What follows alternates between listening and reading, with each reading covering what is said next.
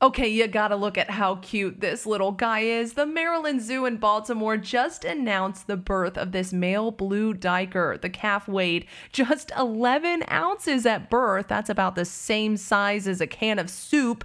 Right now, the zoo says the baby is behind the scenes with its mother nursing well and gaining weight. Katie Johnston for WJZ.com.